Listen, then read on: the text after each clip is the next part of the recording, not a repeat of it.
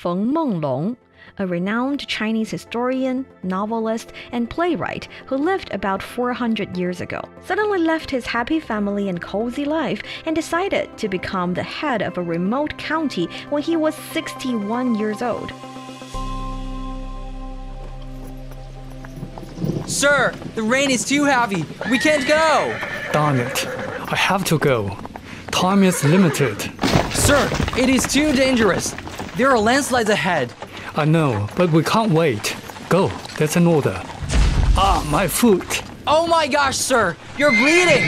I have some herbs. Wait a minute. This herb can help stop the bleeding. But we can't go on, sir. You have to take a rest. I have to go. There are some bad news from Shouning. The pirates robbed the county, and the current magistrate is hiding away. How could the county deal with all this without a government leader? But how about your injured foot? I can still write. Just bind up the wound for me. Mm. Sir, here we are. Who is it? Hi, this is the newly appointed magistrate Feng Menglong. Oh, Mr. Feng Menglong. Sir, you have finally arrived. Please take a rest. I will help tidy your room at once. Don't bother. Let's go outside and you can show me around. Please give me some food. Mr. Feng, so many people are starving to death. Natural disasters often hit this area, and farmers harvest nothing.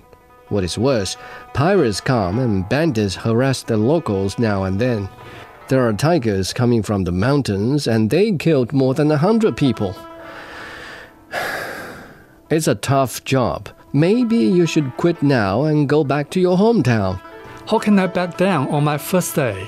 I'm here to find solutions for the locals. Let's go on with our inspection, please.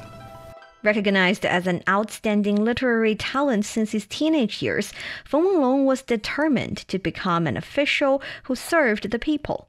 We can actually read his mind from this quote. 一念为民之心，为天可见。 There is only one thought on my mind to serve the people, and only the world can see it clearly. Was he able to defeat the pirates? What did he do to help local people? That is the story for another day to tell.